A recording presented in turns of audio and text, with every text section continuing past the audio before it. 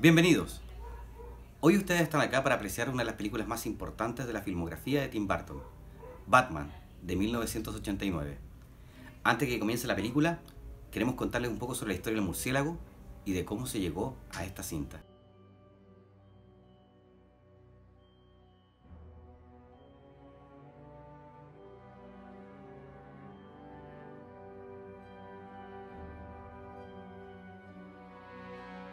El personaje originalmente se llamaba The Batman, el hombre murciélago, y fue creado por Bob Kane y Bill Finger eh, en el año 1939 y se publicó la primera historia de ellos que se, se llamaba el, el, caso del sindicato el caso del sindicato químico eh, y fue publicado en el número 27 de Detective Comics. Puntualmente, Detective Comics con los años se transformaría en el nombre de la editorial, DC Comics.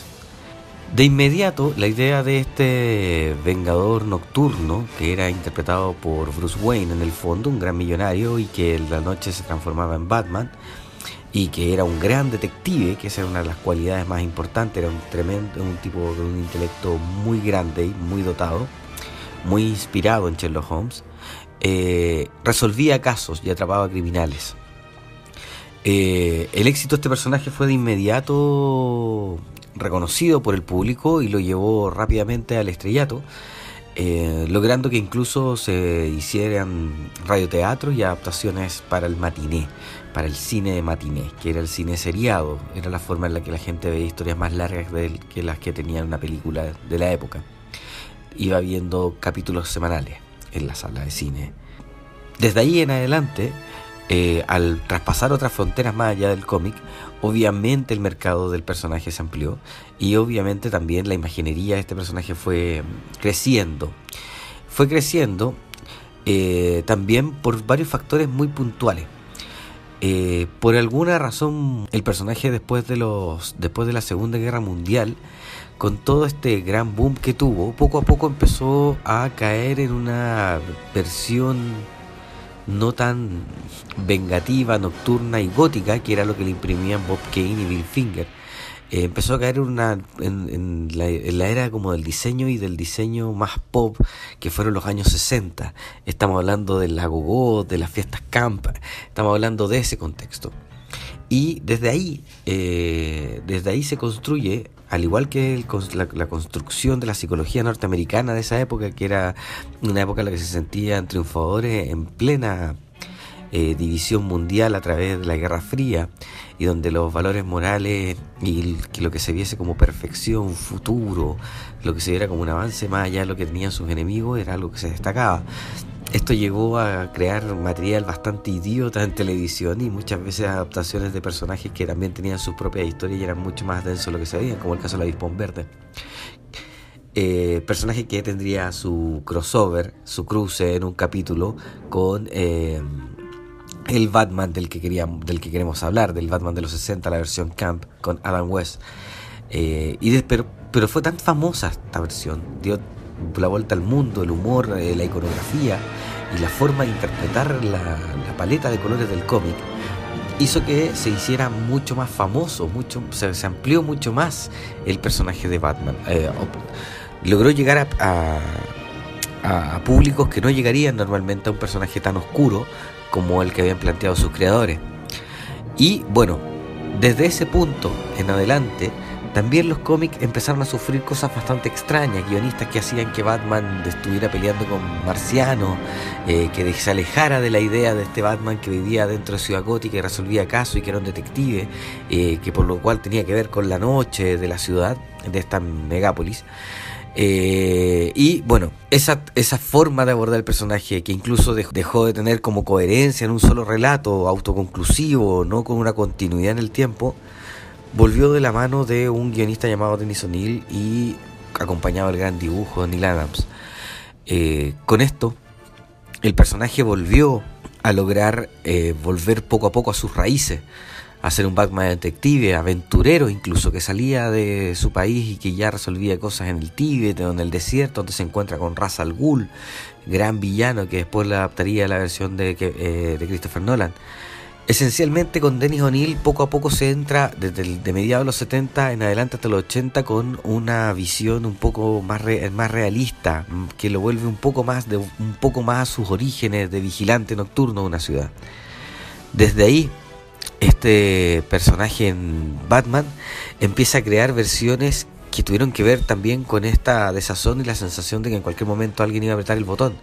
ese cinismo de creadores que se intensificaba, por ejemplo, en la versión de escritores más oscuros como ingleses que llegaron a desembarcar en esta editorial de ese cómic durante los 80 y algunos norteamericanos de una tendencia bastante más radical que veían de una manera casi socialista, pero al mismo tiempo muy fascista. este es el caso de Frank Miller con El regreso del Señor de la Noche, cómic icónico de Batman que lo presenta pues, a los 60 años. Eh, completamente viejo, negándose a retirarse mientras todos sus compañeros habían sido sacados de circulación del, planeta.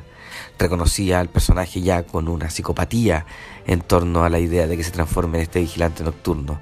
Esa forma de integrar al personaje y la forma en que profundizó después posteriormente Frank Miller en año 1 con recontando el origen del, de Batman eh, permitió que se abriera la puerta y se expandieran los universos y que se crearan personajes, versiones cada vez más oscuras, más delirantes, más psicológicas incluso y más adultas de lo que conocíamos del personaje.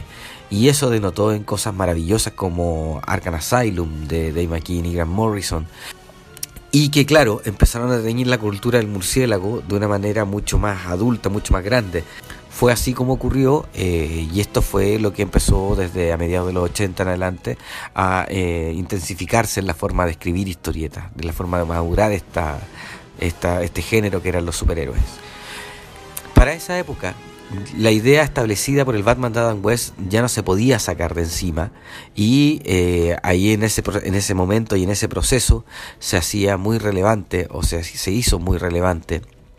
la idea de eh, volver a contar el personaje de Batman, eh, pero desde una perspectiva más cercana a los cómics de la época, a los lectores de la época. Y había que buscar un director que fuese capaz de hacerlo. Y había un director que tenía una tradición gótica, una tradición que venía del cine de la Hammer en su forma de filmar y que lo planteaba tanto en la forma de presentar sus diseños de arte como en la forma de fotografiar las películas y en la forma incluso de cómo se interpretaban los personajes, cómo se movían o reaccionaban. Y este director era Tim Burton. Y a Tim Burton se le asignó la tarea de volver al personaje de Batman, así como lo hicieron los cómics, a sus orígenes.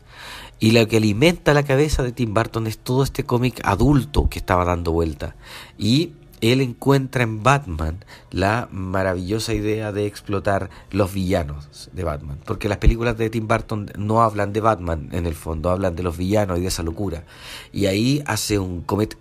logra algo maravilloso cuando trae a trabajar a la dirección de arte a Anton First, quien le da la caracterización a la ciudad gótica necesaria para que Tim Burton pueda explotar a este personaje que es la ciudad. Y la ciudad tiene vida, tiene problemas, la ciudad tiene barrios pobres, tiene barrios ricos, eh, monumentales, enormes, pero sucios, cadentes, llenos de, vapor dando vuelta. Una ciudad muy noir, pero al mismo tiempo eh, muy clásica. Eh, bueno, Arton First fue el gran logro de convertir a esta ciudad en personaje y Tim Burton de adaptar a los villanos a este personaje y no buscar un guasón, el Joker, el principal personaje que se vuelve a mediados de los 80 el antagonista definitivo del murciélago. Eh, no lo busca en un personaje más joven, tampoco busca un Batman que se vea más joven o un Batman que se note que es Batman, un tipo ultra musculoso, busca a Michael Keaton, que prácticamente, si bien tan tiene físico eh, no es grueso, no es amplio, no es un tipo trabajado ni nada, alguien que podría pasar completamente desapercibido, que era parte de su búsqueda, alguien normal que se vestía de murciélago, que sin embargo no era necesario andar en él porque él existía y era parte de la ciudad. Lo interesante del Batman de Tim Burton son los villanos y ahí es cuando él desarrolla todas las ideas maravillosas que tiene de esta, de esta ciudad gótica y de esta interpretación del gótico de la ciudad. Eh, y busca este Joker eh, más viejo, más vengativo, más, más de Hitman, de mafia. Y es que encuentra a Jack Nicholson en la sonrisa maquiavélica, en esa forma de la ceja. Eh, y él decide abordar un personaje de historieta de la manera seria en que lo decide abordar Tim Burton. Y al momento en que lo decide abordar de esa manera, el personaje toma una tridimensionalidad enorme. Y además de eso, eh, logra encantar como antagonista lo suficiente para que se vuelva un ícono, se